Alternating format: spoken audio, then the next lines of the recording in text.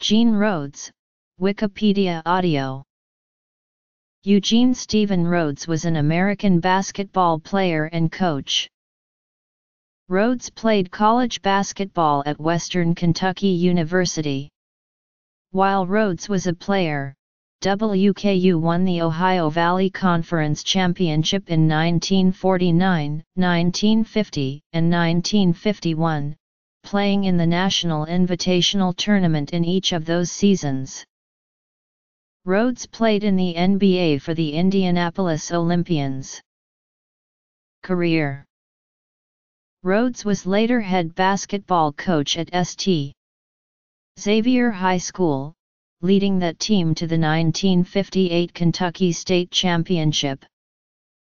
In 1964, Rhodes later returned to WKU as an assistant coach under John Oldham, to 1968. In that time the team went to two NCAA tournaments and appeared once in the National Invitational Tournament. During the inaugural season of the American Basketball Association the Kentucky Colonels started out with a record of 5-12, which led to the firing of head coach John Givens. Rhodes replaced Givens and guided the Colonels to fourth place in the Eastern Division. The Colonels lost the 1968 Eastern Division semifinals to the Minnesota Muskies 3 games to 2.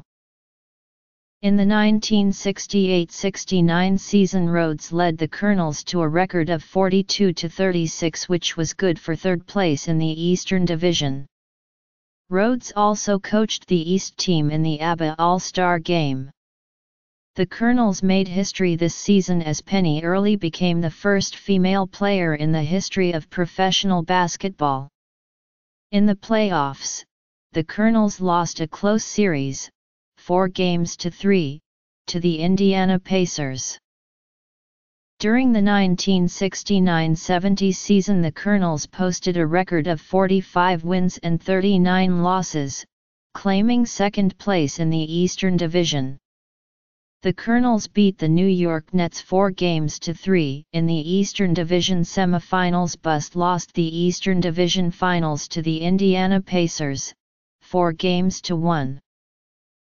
Rhodes began the 1970-71 season with a 10-5 record with the Colonels but was fired at that point.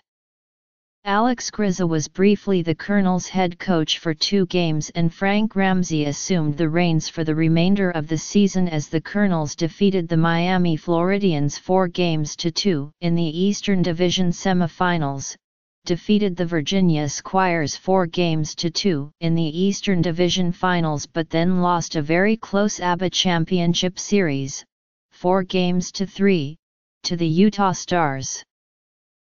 In 1973, Rhodes became general manager of the Kentucky Colonels. Rhodes died on March 10, 2018 aged 90 in his hometown in Louisville, Kentucky. Death